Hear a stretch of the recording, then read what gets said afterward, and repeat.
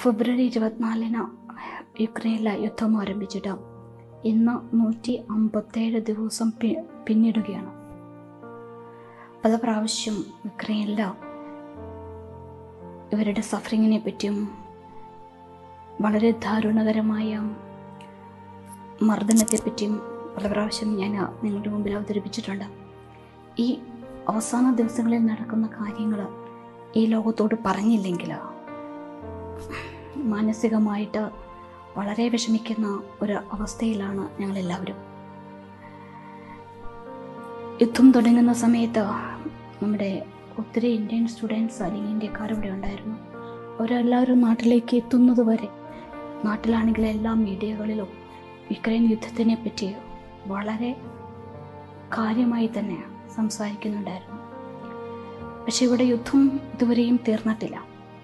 നൂറ്റി അമ്പത്തി ഏഴാം ദിവസത്തിലാണ് ഇന്ന് യുദ്ധം നടന്നുകൊണ്ടിരിക്കുക.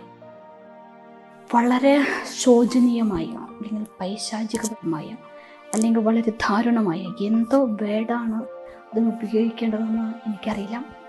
അത്രയ്ക്കും വളരെ ലോകമനസാക്ഷിയെ ഞെട്ടിപ്പിക്കുന്ന വിധത്തിലുള്ള അക്രമങ്ങളാണ് ഇവിടെ നടന്നുകൊണ്ടിരിക്കുക. ഉദാഹരണമായിട്ട് ഇരുപത്തി ഒമ്പതാം തീയതി ഇന്നലെ ഒരു പട്ടാളക്കാരന്റെ ലൈംഗിക അവയവം. കട്ടർ ഉപയോഗിച്ച മുറിച്ച് കളഞ്ഞിട്ട ജീവനോടെയുള്ള ഒരു പട്ടാളക്കാരന്റെ ലൈംഗിക അവയവം മുറിച്ച് കളഞ്ഞിട്ട് രണ്ട് കാലും രണ്ട് വണ്ടികളിലായിട്ട് കെട്ടിയിട്ട് ആ വലിച്ച് ദാരുണമായിട്ട് ആ വ്യക്തിയെ കൊന്നു. സാധാരണ ഒരു മൃഗങ്ങളെ പോലും ഇത്രയും തേജോപതം ചെയ്ത അല്ലെങ്കിൽ ഇത്രയും പേടിപ്പിച്ച കൊല്ലുവാനായിട്ട് ഒരു മനുഷ്യന് സാധിക്കുമെന്ന് എനിക്ക് തോന്നുന്നില്ല. ഒരു മനുഷ്യ ഒരു ഒരു മാനുഷികമായൊരു പരിഗണനയെങ്കിലും വെടിവെച്ച് കൊല്ലുവാണെങ്കിൽ ആ മനുഷ്യൻ പെട്ടെന്ന് മരിക്കുമായിരുന്നു.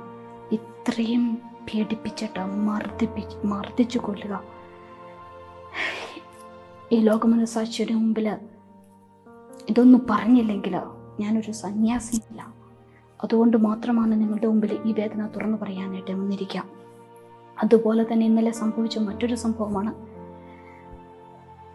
റഷ്യക്കാരെ പിടിച്ചു വെച്ചിരുന്ന അമ്പത്തൊന്ന് പട്ടാളക്കാര്.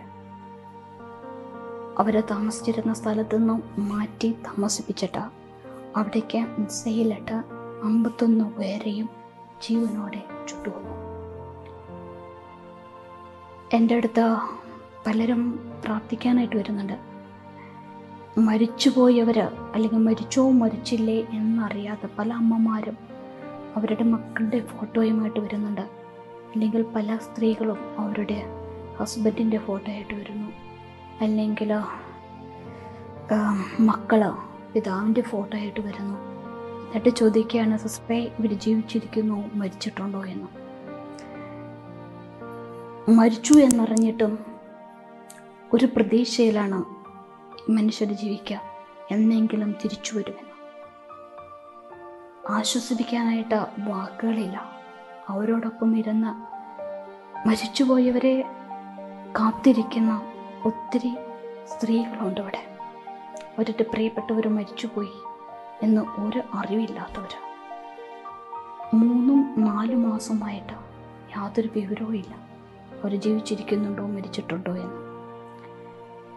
ഇത്രയും ക്രൂരമായിട്ട് ഈ ക്രൈം ജനതയെ കൊല്ലുവാനായിട്ട് അല്ലെങ്കിൽ ഇത്രയും പീഡിപ്പിക്കാനായിട്ട്. എന്താണ് കാരണം? എന്തേ ലോകം മുഴുവനും മൗനമായിരിക്കുന്നേ.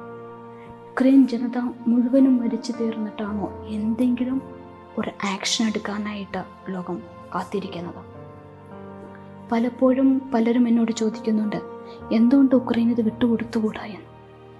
നമ്മൾ പ്രാക്ടിക്കലായിട്ടൊന്ന് ചിന്തിക്കുക നമ്മുടെ സ്ഥലം നമ്മൾ താമസിക്കുന്ന സ്ഥലം ആരെങ്കിലും വന്നിട്ട് തിന്ന് കുറച്ച് എനിക്ക് വേണമെന്ന് പറഞ്ഞാൽ ആരാണ് വിട്ടുകൊടുക്കുക? അതുമാത്രമല്ല ചരിത്രപരമായി നോക്കുവാണെങ്കിൽ മുന്നൂറ് വർഷത്തിലധികമായി ഈ റഷ്യ ഉക്രൈനെ പീഡിപ്പിക്കാൻ തുടങ്ങിയിട്ട് തൊണ്ണൂറ്റി രണ്ട് വരെ നമുക്കറിയാം എസ് എസ് എസ് ആർ ആയിരുന്നു യുക്രൈൻ റഷ്യയുടെ കീഴിലായിരുന്നു. യുക്രൈൻ ജനത മരിക്കുവാൻ തയ്യാറായിരിക്കുന്നത് ഇനിയും ഒരിക്കൽ കൂടെ റഷ്യയുടെ കീഴിലേക്ക് പോകുവാനായിട്ട് തയ്യാറല്ല എന്ന് പറഞ്ഞിട്ടാണ്.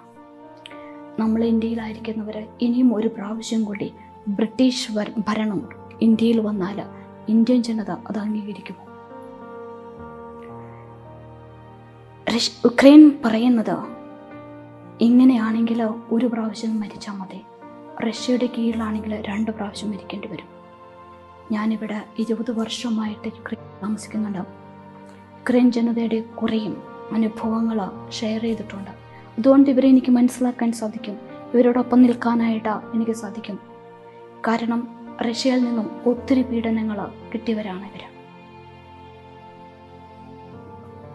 യുക്രൈനിൽ ലോകത്തിൽ അഞ്ചാം സ്ഥാനമാണ് യുക്രൈൻ ഉള്ളത് ഗോതമ്പിന്റെ കൃഷിയിൽ യൂറോപ്പിന്റെ ഗോതമ്പിന്റെ കൽഭരണിയാണ് നെൽഭരണിയാണ് യുക്രൈൻ.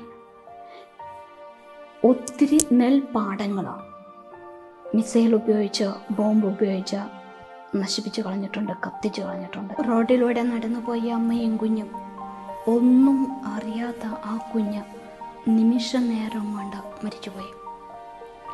ഒരു കുട്ടിയല്ല അന്ന് മരിച്ചത് ഇരുപത്തിയേഴിൽ പേരിൽ കൂടുതൽ അതിൽ കൂടുതലും കുട്ടികളായിരുന്നു. എത്ര കുട്ടികളാണ് യുദ്ധം എന്തെന്നറിയാതെ പോലും ജീവൻ വെടിഞ്ഞു പോയിരിക്കുന്നത്? ഇതെല്ലാം നിങ്ങളോട് പറയുന്നത് യുദ്ധം ഇവിടെ അവസാനിച്ചിട്ടില്ല. യുദ്ധം തുടർന്നുകൊണ്ടിരിക്കുകയാണ്.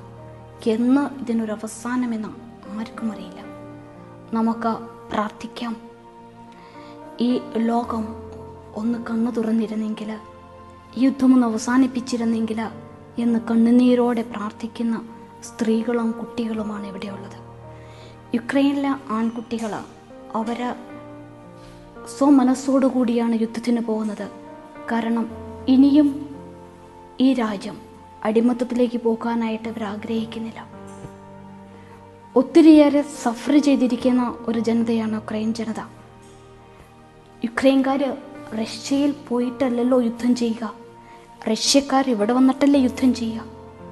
അപ്പം നമുക്ക് റഷ്യൻ പ്രസിഡന്റ് വ്ളാഡിമിർ പുടിന് ഒരു മാനസാന്തരമുണ്ടാകാൻ ഈ യുദ്ധമൊന്ന് നിർത്താൻ നമുക്കൊരുമിച്ച് വീണ്ടും പ്രാർത്ഥനയോടെ കൈകൾ കോർക്കാം. എല്ലാവരോടും വീണ്ടും വീണ്ടും പ്രാർത്ഥന അപേക്ഷിക്കുന്നു.